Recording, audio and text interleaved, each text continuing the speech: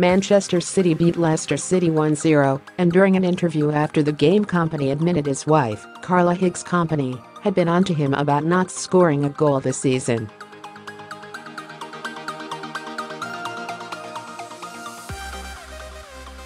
Kompany, who made the revelation during an interview with Sky Sports reporter Geoff Shreeves, last scored a league goal in April 2018.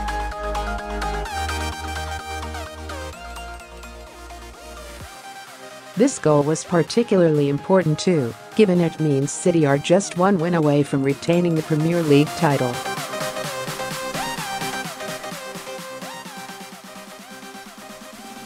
Shreeves explained how he had been speaking to Carla who in turn had revealed that she had been giving her husband stick for his lack of goals this season.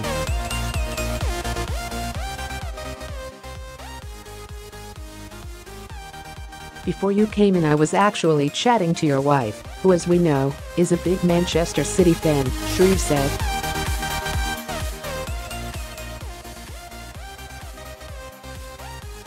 She said I've been giving him stick as he's not scored all season, not technically right, but he's the only one in the squad who hasn't scored, so I'll be on to him.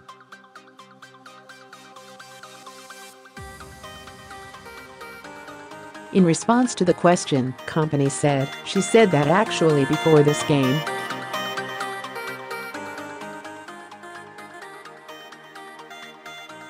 Sometimes things are meant to happen, I've had seasons where I haven't scored so much but I've just managed to score at the right time.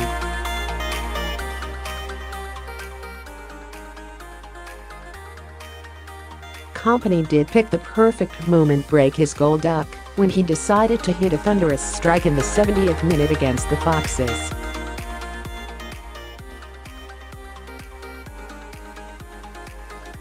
City had struggled to find a way past an organized Leicester defense, and it seemed like it would need something special to beat Kasper Schmeichel on the night.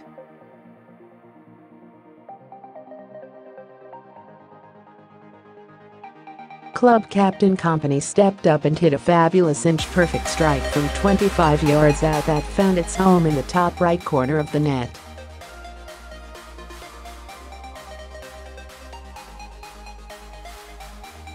After the game Kompany revealed several of his teammates had actually told him not to take on the long-range effort.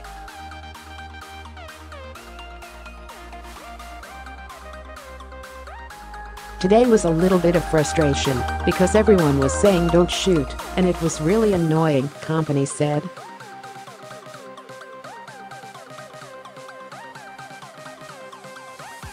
I've not come this far for young players to tell me whether I can take a shot or not.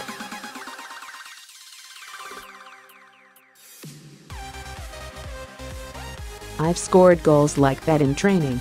It's 15 years of top-level football, of having midfielders telling me not to shoot.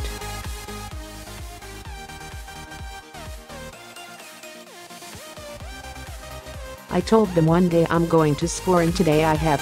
City's win over the Foxes takes them one point clear of title rivals Liverpool, with one game remaining in the league.